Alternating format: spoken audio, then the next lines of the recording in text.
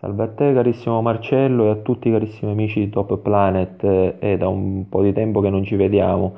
Vi invio questo video da, da Vado Ligure perché mi trovo a Vado Ligure perché, per impegni lavorativi e lunedì ritornerò nella terra del mister Allegri e mi sarò a Livorno sempre per motivi lavorativi almeno per, almeno per 6-7 mesi.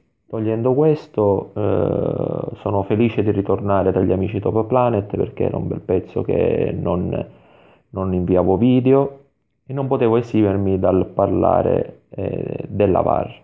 Intanto premetto e sono certo che la Juventus è sempre la squadra favorita per quello che concerne il campionato italiano, è la squadra da battere perché dal punto di vista qualitativo della rosa è nettissimamente la squadra più forte dal punto di vista della qualità della rosa anche se il Napoli quest'anno è una squadra matura e può cercare il colpaccio.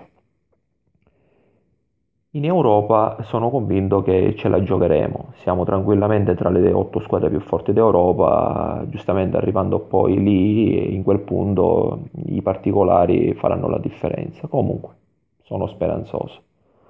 Però, no, ripeto, non potevo esimermi dal dire la mia sulla VAR. Premetto che la VAR, secondo me, è una cosa positiva, molto positiva, perché fa sì che molte ingiustizie e molte cose che possono sfuggire all'arbitro dentro l'area di rigore vengono viste tramite la tecnologia e aggiustate le valutazioni dell'arbitro e questo credo che sia sacrosanto e giusto e sono favorevolissimo. Però la VAR che è una macchina, è controllata da il VAR, un tecnico messo lì davanti al monitor che guarda. Il tecnico naturalmente è un uomo.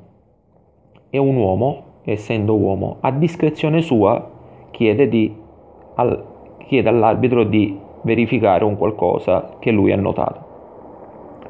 Purtroppo questo fa sì che ci siano in certe occasioni, purtroppo in questo inizio di campionato l'abbiamo visto più volte, i due pesi e le due misure, perché da quello che si evince eh, la Juventus è la squadra dove la VAR viene più, più, più utilizzata e più controllata, mentre in altre partite invece la VAR non viene utilizzata. L'ultima situazione, quella del fallo di Lichsteiner sul Papu Gomez, è un qualcosa, a dir mio, a prescindere che si parli di Juve, un qualcosa di scandaloso perché tu non puoi annullare un gol per un fallo che l'arbitro non ha visto 15 secondi prima della realizzazione del gol, perché questo vorrebbe dire che se, VAR si, se il VAR si accorgesse di un fallo fatto 40 secondi prima di un gol, tu andresti a fare annullare un gol 40 secondi dopo che l'arbitro non se ne è accorto, è assolutamente un qualcosa di inconcepibile. La VAR si deve utilizzare per i rigori,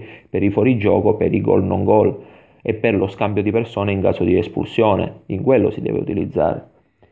E invece la VAR in altre partite, in altre situazioni, non interviene e non si fa fronte di certe situazioni. Vedi, ahimè purtroppo, molte situazioni favorevoli in casa Inter. Quindi, come, di, come ho detto, ripeto, favorevolissimo alla VAR, favorevolissimo al 100%, però la discrezionalità del tecnico, il VAR, fa sì che la VAR sia sempre sotto l'occhio del ciclone e questo non è, non è bene. Bisogna trovare dei metodi che fa, devono far sì che la VAR sia eh, accettata da tutti. Adesso amici miei vi saluto, come vi ho detto da Vado Ligure, un saluto e un abbraccio a tutti gli amici di Top Planet, a Marcello Chirico e alla prossima. E sempre Forza Juve.